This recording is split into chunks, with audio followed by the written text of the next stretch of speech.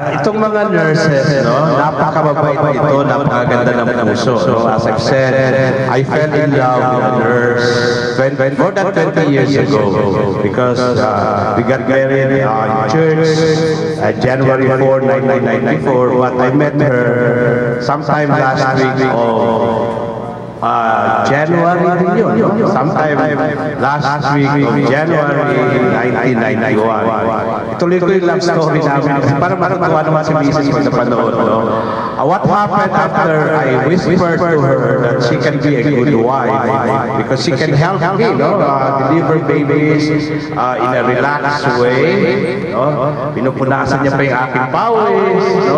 Na-anticipate niya yung needs ko pag medyo bloody yung, uh, pagka medyo bloody yung panganganak, alam niya kung anong gagawin niya. No?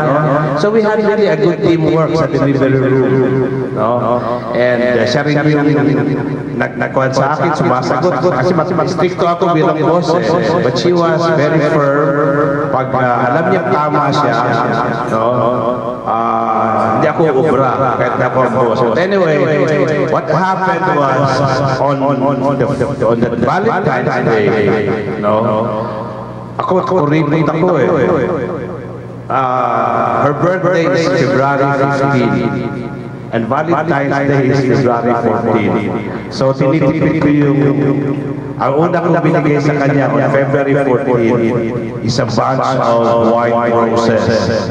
Uh, I was working full-time sa Social Security System as a medical officer. So at my resident physician in the Divine Mercy during daytime, I called him, Dr. Regana, can you please buy me a bunch of roses, white roses on a Valentine's Day. Please have the flower shop deliver it to her house. Yun pala, my wife had a dream one night that, that, that, that, in the past, ha, years ago, na parang whoever that somebody is gonna give her a, bunch of white roses. Sa, sa, sa, that panaginip niya, no? And then, that dream, parang naplano niya na yun. Siguro, ah, kung sino man yun, at that time I was not still around, ha? that was years ago.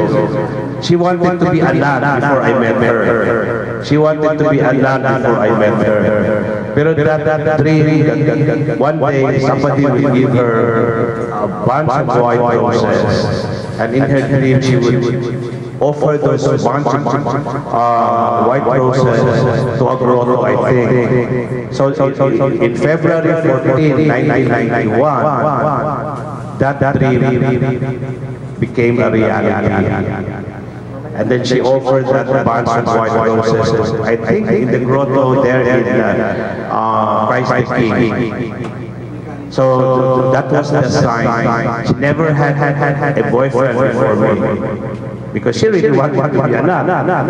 No, so what happened was she thought that, oh my God, this must be the man that is sending for her. No, so ganun ang love story.